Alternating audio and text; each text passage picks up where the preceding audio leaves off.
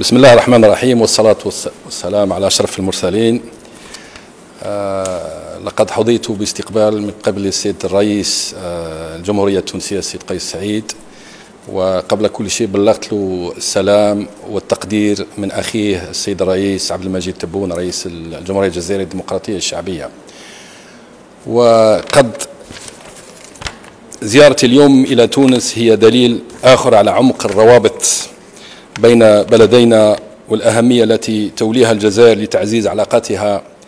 مع تونس في كل الظروف وفي كل الميادين. تطرقت مع السيد الرئيس آه، بإسهاب إلى سبل تعزيز العلاقات الثنائية المتميزة التي تجمع البلدين في كل المجالات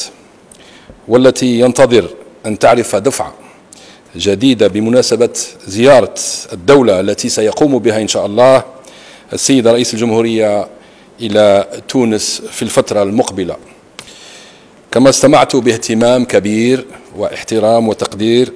إلى التحليلات القيمة للسيد رئيس الجمهورية بخصوص الأوضاع في المنطقة وخاصة في الشقيقة ليبيا.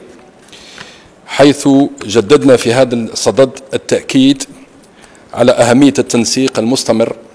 والتنسيق موجود حاليا والمتواصل بين الجزائر وتونس على كل المستويات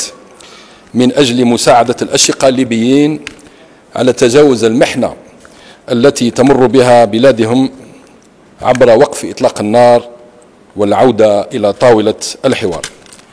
أود في هذا المقام أن أسجل بارتياح التطابق الكبير لموقف البلدين تونس والجزائر إزاء الأزمة في ليبيا وعزمهما على العمل معا من أجل تجاوز الانسداد الحالي باعتبار باعتبار القضية الليبية مسألة أمن وطن وطني وطني بالنسبة للبلدين وأن المساهمة في معالجتها واجب يقتضيه المصير المشترك وحسن الجوار. وشكرا.